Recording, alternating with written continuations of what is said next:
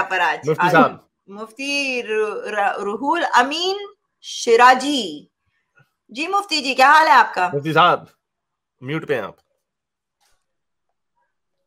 जी बहुत अच्छा है। मैं आपके क्या आपके क्या हाल है? बिल्कुल ठीक। है। कहाँ से हैं आप मुफ्ती जी? बांग्लादेश से है। जी आप कहाँ से? बंगाल से? बांग्लादेश। बांग्लादेश से है। हाँ, अच्छा क्या कहना चाहेंगे आप? माइक मैं एक, सवाल करने के लिए आया है कि बांग्लादेश के एक एथिस्ट है उसका नाम आसिफ मोहिउद्दीन। उन्हें कहते हैं कि अगर कोई लड़का और माँ दोनों बालिग हो जाए और वो दोनों ने मिलकर मुजामात करे तो वो इल्हाद में जायज़ है। और प्रोफेसर लड़का लॉरेंस क्राउस लड़का और माँ दोनों बालिग हो जाए मतलब माँ तो पहले ही बालिग थे। इसीलिए कहा कि दोनों दोनों दोनों बालग है। इसलिए कहा कि दोनों बालग है। कि अगर और प्रोफेसर लॉरेंस क्राउस ने हमजा जर्जिस के साथ जब डिबेट किया उस जगह पर उन्हें कहा कि कोई चाहिए तो ये कर लिया तो इसके आ, ये खराब नहीं है। ये आ, तो हाँ मेरा सवाल ये है कि हाँ। जी जी पूछ रहे हैं आप पूछ पूरा कर लो। है। तो बांग्लादेश के बांग्लादेश के जो एथिस्ट है वो ने डायरेक्ट कहा है? उन्हें डायरेक्ट डायरेक्टली कहा है? अगर चाहिए तो कर लिया तो इससे कोई नहीं है। तो इल्हाद इस पर आ, क्या कहते हैं कि ये जायज़ है या नहीं? अच्छा जायज़ पहली बात ये है कि इलाहाद में हर जो चीज़ ये म्यूट कर दें जिसका भी शोर आ रहा है पीछे से। अच्छा पहली बात ये इलाहाद में इलाहाद की कोई किताब नहीं है और इसीलिए लॉरेंस क्राउस की और हमारी ओपिनियन में फ़र्क हो सकता। क्योंकि इसमें वही चीज़ की जाती है जिसकी रैशनैलिटी हो जिसकी कोई वजह हो वजूहत के ऊपर होता सबूत के ऊपर जिसको इस्तदलाल उर्दू में बोलते हैं। रीजनिंग रीजनिंग के बेस पे होता है। अगर कोई भी चीज़ हो फलसफी जो होते हैं उसको रीजनिंग के तौर पे देखते हैं उसको उस, उसको देखते हैं कि लॉजिकल कंसिस्टेंसी उसके अंदर है कि नहीं। अब फलसफे में अब एक चीज़ है जिसको कहते हैं कॉन्सिक्वेंशलिज्म यानी हर जो चीज़ हम करेंगे उसका कोई ना कोई नतीजा निकलेगा। अगर आज हम ये कोई बात कर दें कि भाई कि दरवाजे खुले रख के सोना तो उसका एक कॉन्सिक्वेंस निकलेगा। उसका कॉन्सिक्वेंस निकलेगा, चोरियाँ बढ़ जाएँगी। ऐसे हो सकता है। ये पॉसिबल है। मुआशरे के ऊपर डिपेंड करता है। नॉर्वे में ऐसा शायद ना हो, पाकिस्तान में तो सारे कंगाल हो जाएँगे। कॉन्सिक्वेंशलिज्म अब देखें, अगर कोई मुर्दा गोश्त है, कोई बंदा मर गया, अगर वो लिख देता अपनी विल में कि मुझे मैं चाहता हूँ कि मेरे ना यार दोस्त मुझे ना बारबेक्यू करके तिक्का बोटी बना के मेरा खा ले। तो इसकी इजाज़त भी कभी कोई कानून नहीं दे सकता और मेरे नज़दीक भी ठीक है, क्योंकि ये इसका कॉन्सिक्वेंस क्या निकलेगा? इसका कॉन्सिक्वेंस ये हो सकता है कि फिर लोग जो मरने वाले हैं, उनसे लिखवाना शुरू कर दें, जिस तरह वसीयतों पर दस्तखत होते हैं। जिस तरह आप उसको जिसने अगले महीने मरना है, शायद उसको पहले मारने, क्योंकि इंसानी गोश्त के एक टेस्ट होता है, हर बंदा ये कहता है, इंसानी गोश्त का मज़े का होता है, उसका कुछ और ही मज़ा होगा। तो इसको कहते हैं फलसफे में कॉन्सिक्वेंशलिज्म हमने ये चीज़ अलाउ इस, नहीं करनी, चूँकि इसका इसका कुछ और नतीजा निकल सकता है। अब ये फलसफी बात है, इसका कुछ चीज़ों का रेफरेंस नहीं होता हमारे पास, यानी उसका कोई, हमारे पास प्रेसिडेंस नहीं है। इसीलिए उसी तरह जब ये बात आप करते हैं कि बहन भाई और माँ, बाप बेटा और माँ और बाप और बेटी और ये लोग ये काम करना शुरू कर दें। तो फल तो इलाहाद क्या इसको कहता है? अब इलाहाद में इसके ऊपर डिफरेंट लोग डिफरेंट बातें करते हैं। लॉरेंस क्राउस ने ये बात कही थी कि हाँ भाई ठीक है, वो आपस में करते हैं, उनकी करने दो। अगर वो बालिग उनसे तुम्हें क्या? और अगर, और जो लोग ये काम करते हैं, पहली बात ये, चाहे वो मुस्लिम मुल्क हो या गैर मुल्क हो, हमारे पास बेतहाशा ऐसे वाकयात पड़े हुए हैं। अभी इंडिया में दो तीन, अभी एक महीना पहले एक वाक्य हुआ था जिसमें बाप ने अपनी बेटी से शादी की। बल्कि अभी एक हफ़्ता पहले वीडियो आई थी कि बाप और बेटी को फेंटी पड़ रही थी क्योंकि वो इस तरह के काम कर रहे थे।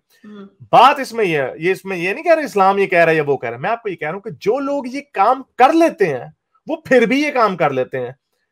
जिस तरह इस्लाम में चोरी जायज़ जायज़ नहीं है लेकिन चोरी फिर भी लोग कर लेते हैं।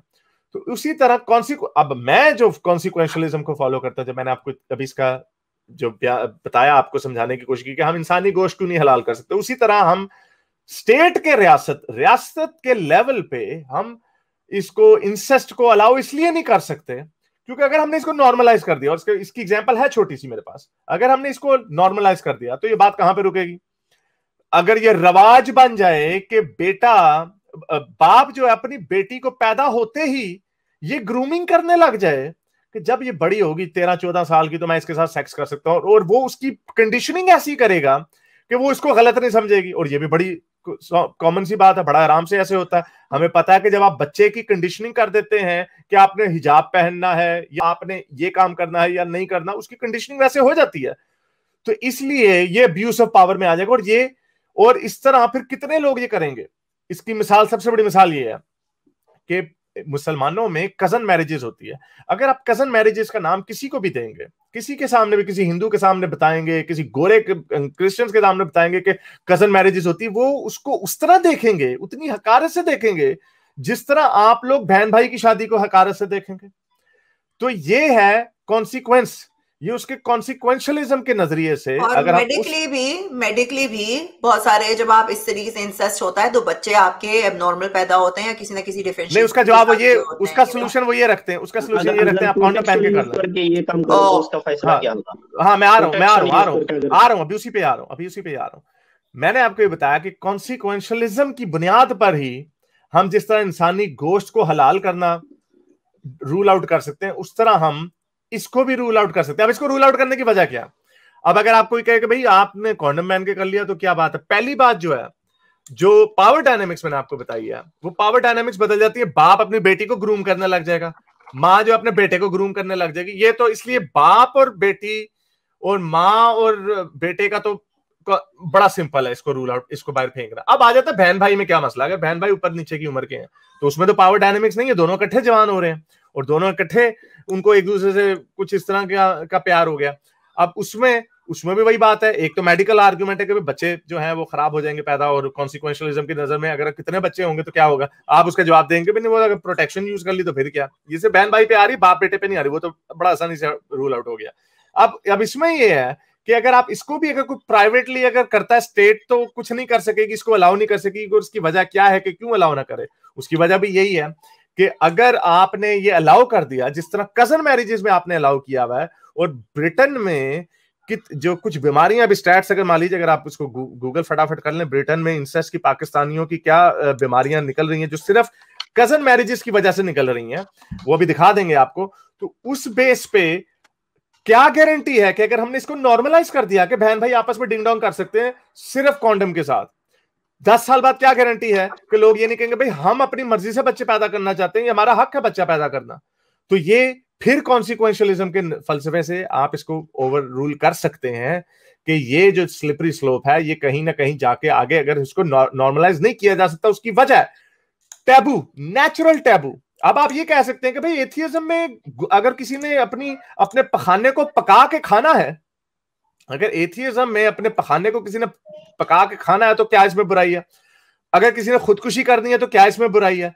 वो चीज़ें इसलिए नहीं अलाउ की जा सकती क्योंकि उनका कॉन्सिक्वेंस निकल सकता है, जो कि सोसाइटी के लिए जो हमने सोशल कॉन्ट्रैक्ट बनाया हुआ है, उसके हिसाब से अलाउ नहीं हो सकता। अगर मैंने खुदकुशी करनी मुझे क्यों क्यों होती है कोई मुझे स्टेट रोकने वाली? मेरी ज़िंदगी में जो मर्ज़ी करूँ, ऊपर से छलांग मार दो। लेकिन स्टेट इस चीज़ की इजाज़त नहीं दे सकती बिकॉज़ इससे इसके ये ये नतीजे निकलते हैं। या आप इसमें देख लें, ये जो ये जो बच्चों की आप इसके ऊपर बाद में भी सर्च कर सकते हैं The baby is paying the price of cultural tradition. It's estimated that more than half of Pakistani heritage couples in Britain are in cousin marriages. Now, community mm. leaders are confronting the troubling medical risks, right? S U S U E rate. सूरीड हाँ तो इसके इसका मैं कहने का मकसद ये था कि बर्तानिया में इन मुल्कों में कजनों के दरमियान शादी करने का रवाज नहीं था तो इस वजह से ये बचे हुए थे अब मुसलमान फैमिलियाँ आई और अब ये एनएचएस के ऊपर, उनकी, उनके ऊपर बोझ पड़ रहा है, उनके सिस्टम के ऊपर। उस वजह से ये इसको रोक भी नहीं सकते अब, क्योंकि ये तो नेचुरल टैबू तो नहीं है। मुसलमानों में तो नेचुरल टैबू नहीं है। तो इसलिए बहन भाई के जो नेचुरल टैबू जो सारे कल्चर्स में है, उसीलिए उसको हम एक स्टेप आगे जाके नहीं कह सकते, क्योंकि ये मसले कल को दोबारा आएँगे आपके सामने।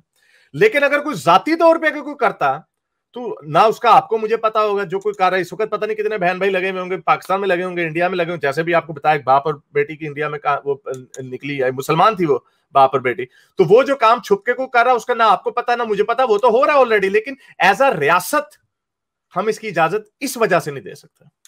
हाँ। जी एक सवाल है क्विकली मुफ्ती साहब से। हाँ, मुफ्ती साहब ये बताइए कि हज़रत आदम और हवा से नस्ल कैसे बढ़ी थी? मेरे मेरे मेरे मेरे सवाल सवाल नहीं खत्म हुआ है आप दूसरे बरका हो अच्छा आप जल्दी से कर लीजिए क्योंकि और भी बहुत सारे लोग बैठे हैं उनको लेकिन आप कोई क्या क्विकली आपका सवाल लंबा हो जाएगा नहीं आप क्विकली कि मैंने इस्लाम आप के बारे में बात करने नहीं आया।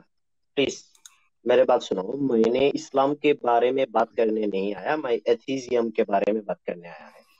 तो सबसे पहले ये आ, आ, भाई ने जो कहते हैं कि इसका जो नतीजा होता है कि हमारे आ, आ, मुल्क में अगर ये जारी हो जाए तो देखा जाएगा कि वो कंडोम को छोड़कर मुजमा करे और जो बच्चा होगा, वो नुकसान की तरह होगा। तो इस पर हमारे जो सवाल है, अगर कोई हाइपोथेसिस मेरे, ये सवाल है कि अगर कोई जगह पर ये हो जाए कि सब आदमी और उसके माँ के साथ प्रोटेक्शन यूज़ करके मुजामत करे, और उस, उसमें ये कभी नहीं हुआ कि उसमें वो कंडोम छोड़कर छोड़कर ये काम ना करे। तो इस पर क्या फैसला होगा? आपके पास। जाती तौर पे अगर अगर अगर पकड़ा जाएगा तो उसको सजा, उसको कोई जुर्माना हो या जेल तो नहीं होगी, मैं जेल का तो नहीं कहूँगा, कोई जुर्माना वगैरह डलेगा, बिकॉज़ इसी तरह का यूरोप में, मेरे स्पेन में इस तरह का कानून है कि अगर कोई छुप के करता है इस, तो वो करता तो उसका हमारे से कोई ताल्लुक नहीं किसी के नुकसान तो भी नहीं हुआ है। अगर वो तो काम नहीं कर लिया उससे तो मुआशरे को नुकसान हो रहा है ना। देखिए एक सेकंड एक एक सेकंड मान लीजिए एक सेकंड ले ले ये बड़ा मैंने इसका लहदा से टीनू इसका तराशा निकालना ये बड़ा इंपॉर्टेंट क्वेश्चन है इसके ऊपर मैं पहले भी कोशिश कर चुका हूँ। आई थिंक दिस टाइम जो मैंने एक्सप्लेनेशन दिया इज़ मोस्ट इलेबोरेटिव देखें उसमें ये है कि जैसे आप इसमें मुआशरे को नुकसान हो रहा है ना अगर मैं इस वक्त नंगा सड़क में फिरने लग जाऊँ किसी को किसी को तकलीफ़ तो नहीं दे रहा मैं? लेकिन हमने मुआशरे की एक कीमत रखी हुई है कि हमने मुआशरे को किस तरह चलाना है उसके क्या कॉन्सिक्वेंस सारे कॉन्सिक्वेंस के ऊपर चलता। हम्म, नंगा घूमने से रोकने की वजह यह है कॉन्सिक्वेंशलिज्म कि उसका कॉन्सिक्वेंस नतीजा क्या निकलेगा। ये वो वजूहत हैं जिसकी वजह से यहाँ पे कानून साजी होती है और इसी वजह से अगर माँ और बच्चा अगर कोई बहन भाई माँ बच्चे का तो मैंने आपको बता दिया वो तो हम इसलिए कहेंगे कि इन्होंने ग्रूम किया वो ग्रूमिंग हो सकती है। बहन भाई के ऊपर बात करें सिर्फ़ बहन भाई की भाई भाई की और बहन बहन के ऊपर बात करें। इसके ऊपर हम सिर्फ़ इसीलिए बात कर सकते हैं क्योंकि उस पर हम ये कहेंगे, अगर आप ये कर रहे हैं, अब ये पब्लिक नॉलेज में आ गया है, हम इसको प्रमोट नहीं कर सकते, हम इसको इंटाइस नहीं कर सकते। उसकी वजह मैंने आपको बता दी, ये वजह नहीं कि उन्होंने किसी को नुकसान दिया या उन्होंने बच्चा पैदा किया, उसकी वजह ये है कि हम इसको नॉर्मलाइज नहीं करना चाहते। लोगों को सरेआम फांसी क्यों नहीं दी जाती? इसलिए नहीं दी जाती ताकि हम इसको नॉर्मलाइज वायलेंस को हम नॉर्मलाइज ना करें। तो नॉर्मलाइज भी नहीं करना, ये भी बड़ी चीज़ है। अच्छा। चले तो- तो- अच्छा एक मुफ्ती सवाल इनसे पूछना था मालिक एक सवाल था। मुफ्ती जी मुफ्ती जी एक सेकंड वो सवाल सवाल पूछने दें उनको। नहीं खत्म हुआ मुफ्ती साहब बोले जाएँगे तो हमें भी सुन लें मुफ्ती जी अच्छा मुफ्ती जी मुफ्ती जी पहले भी आए थे। तीन चार क्वेश्चंस कर लिए जरा अब अब हम भी एक क्वेश्चन मैं आपसे आपसे एक छोटा सा मासूमाना सवाल पूछ रहा हूँ मुफ्ती भाई। हज़रत आदम और हज़रत हव्वा से नस्ल कैसे बढ़ी थी? हम, हम हमारा सवाल खत्म नहीं हुआ है। ये क्या बात हुई? सवाल आपका नहीं सवाल नहीं नहीं खत्म हो भाई गया। आपके सवाल तो आपसे मैं पूरा पूरा शो आपके ऊपर थोड़ी करना है हमने। हूँ मेरा सवाल भी ले लीजिए मेरा सवाल भी ले लीजिए कि हज़रत एक छोटा सा सवाल है उसका जवाब दे दीजिए कैसे नस्ल बढ़ी थी हज़रत आदम और हज़रत हव्वा से? पता है आपको? जी बोले आप। आपके मैं तो इस्लाम के बारे में बात करने नहीं आया है। तो लेकिन मेरी मर्ज़ी ना मैं आपसे इस्लाम के बारे में बात कर रहा हूँ। आप अपनी तो मर्ज़ी इस से इस हिसाब से नहीं तो फिर इस हिसाब से मुफ्ती जी हमको भी आपको कोई ज़रूरी नहीं है हम हाँ। आपको जवाब दें फिर। मैंने आपको जवाब दे दिया हमने। हमने आपको जवाब तो दे दे दिया एक सेकंड एक सेकंड ये लोग हमेशा आके ये बोल रहे होते हैं। एक सेकंड एक सेकंड एक सेकंड सबर कीजिए आप। एक सेकंड एक तो आप लोग ना चढ़ाई मत किया करो। जब कोई बोल रहा है ना तो उसको प्लीज़ सुन लिया करो। बड़ा बड़ा सेकंड बड़ा बड़ा बड़ा बड़ा नहीं नहीं चुप हो जाइए जरा। अच्छा चले नीचे बैठे हैं आप। अब सुनिए। मेरे पे चढ़ाई नहीं करना। आप लोग हमेशा आके यहाँ क्यों लिख रहे होते हो कि एथियस्ट हो तो यूँ कर रहे हो? एथियस हो। इंसान गंदा अच्छा और बुरा हो सकता है। ज़रूरी नहीं है। आप लोगों पे इतने रिलीजियस और इतनी पाबंदियाँ लगी हुई होती हैं मगर फिर भी आप अपने बच्चों के साथ सेक्स कर रहे होते हो। ठीक है? इतने रिलीजियस रिलीजन ये देखिए यहाँ पर ये रिलीजियस वाले बंदे देखें इतने अच्छे सनाटनीस देखिए क्या क्या ये, ये सिखा रही है रिलीजन इनको। ये देखिए क्या लिख रहे हैं ये? ये देखिए ना ये तो रिलीजियस लोग हैं। फ़ायदा क्या है रिलीजन का आपके? आपकी फ़ायदा क्या हो रहा है रिलीजन का कि वो लोग वही हरकतें कर रहे हैं, हालाँकि वो लोग हमसे बुरी हरकतें कर रहे हैं। हम जाके ऐसे कमेंट्स नहीं लिखते हैं कहीं पे, मगर ये आपके रिलीजन वाले लिख रहे हैं। तो बात ये नहीं है कि मुलहित कर रहे हैं, वो तो अभी आप, आपको पता नहीं होगा कितने लोग कर रहे होंगे। पाकिस्तान में कितने लोग अपने बच्चों के साथ सो रहे हैं या अपने बच्चियों के साथ शादी की हुई है whatever the cases you know people are doing it इसका मतलब ये नहीं कि वो इस वजह से कर रहे हैं क्योंकि वो मुलहिद बन गए हैं, या ये कि मुलहिद कोई क्राइम नहीं करेगा atheist that is not the point crime atheist भी करते हैं और क्राइम मुसलमान भी करते हैं, हिंदू भी करते हैं क्रिश्चियंस भी करते हैं. बंदा सही होना चाहिए या गलत होता है? सही होता है गलत होता है? यू आर इधर गुड और यू आर बैड आपके मोरल्स आपको डिफाइन करते हैं। आपके सोसाइटी में रह रहे हो वो सोसाइटी डिफाइन करती है। अगर आप क्या एक सोसाइटी में रह रहे हो तो जैसे कि पाकिस्तान में कज़न मैरिज अलाउड है वहाँ कोई बुरा नहीं मानता उसको। यहाँ पर आप करोगे यहाँ बुरा माना जाता है उस चीज़ को राइट पाकिस्तान में आप जो है बिकिनी पहन के नहीं घूम सकते क्योंकि सब कोई ना कोई रेप कर देगा। यहाँ पर आप बिकिनी पहन के घूम सकते हो इट्स द कल्चर हियर यहाँ पे उस चीज़ को नॉर्मलाइज नॉर्मल समझी जाती है। चले ठीक है थैंक यू अब मैं आगे चल रही हूँ क्योंकि बहुत सारे लोग हैं मुझे फिर जाना भी है। सो so, जी सूर्या जी उन्होंने जवाब नहीं देना गुलजार एलिया उनको। क्योंकि वो यहाँ पर किसी और के जवाब देने नहीं आए थे। वो बस हमें हमारे ऊपर चढ़ाई करने आए थे। लेकिन इसमें मैंने बड़ी वेरी क्विकली मैं इस पे कहना, इसके ऊपर कॉन्सिक्वेंशलिज्म के पॉइंट ऑफ़ व्यू से इससे अच्छा मेरा नहीं ख्याल कोई जवाब मिलता। मैं अपने आर्गुमेंट को खुद बंक कर सकता हूँ ओनली वन पॉइंट कि अगर कल को एक ऐसी सिचुएशन बन जाए जहाँ से बहन भाई की शादी से बच्चे जो हैं, वो अपाहिज ना पैदा हो ओनली देन मेरा जो आर्ग्यूमेंट है वो फ्लॉ होगा वो वो ब्रेक डाउन करेगा। जो बाकी इन्होंने कॉन्डम वाली बात की तो मैंने बता दी उसका कि ये कब तक इसको रोकेंगे? अगर इंसानी हकूक है अगर हम मोहब्बत को बहन भाई की जिस्मानी रोमांची मोहब्बत को हम उसको आम कर देते हैं तो क्या ज़ाहिर बात है वो किसी ना किसी स्टेज पे वो कहेंगे हमने बच्चे पैदा करने हैं। हाँ हाँ तो, तो और अगर कॉन्डम फट जाए कॉन्डम फट जाए कॉन्डम कौन सा हंड्रेड परसेंट गारंटीड होता है कि उसमें से आपकी हंड्रेड परसेंट प्रोटेक्शन है?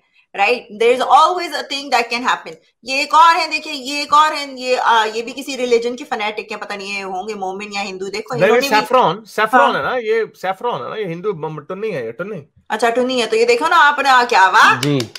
ऐसे होते हैं टुन्नीज मैं तो समझी आपकी रिलीजन आपको औरतों की जो है बड़ी इज़्ज़त करना सिखाती है। देखो हमारे मुल्यों पे खामखाई में तुम लोग एक और पॉइंट। है मैं सिर्फ़ एक जुमला बोलूँगा यहाँ पर आगे बात बढ़ाते हुए जो बहन भाई की शादी में ना एक और पॉइंट है सोसाइटी की प्रोग्रेशन रुक जाएगी। सुबह से भाई नहीं जाएगा नहीं जॉब पे उसको बहन मिल रही है घर पे वो सुस्त हो जाएगा। सोसाइटी में आपको स्ट्रगल चाहिए बात नहीं है गुलजार जी ऐसा भी नहीं नहीं मैं, मैं मेरी बात मुझसे नहीं नहीं मैं कुछ और मैं कुछ और कहना चाह रहा हूँ। मैं मेरी बात पूरी अगर सुन ले मैं ये कहना चाह रहा हूँ हमारी सोसाइटी में जो आप मेरी आधी बात समझ के मिसरीड नहीं करें मैं ये कह रहा हूँ एक अल्फ़ा मेल होता है वो अच्छी पढ़ाई करता है वो इसलिए अच्छी पढ़ाई करता है अच्छी जॉब ढूंढता है कि उसको एक अच्छा पार्टनर मिले इससे सोसाइटी में कंपटीशन हेल्दी बनते हैं ठीक है हम्म। लेकिन अगर घर में ही बहन जैसी भी हो बंदा ना मैट्रिक करेगा कहेगा मेरी बहन मेरे साथ है तो सोसाइटी में प्रोग्रेशन कहीं रुकेगी स्ट्रगल चाहिए होती है कंपटीशन चाहिए होती है।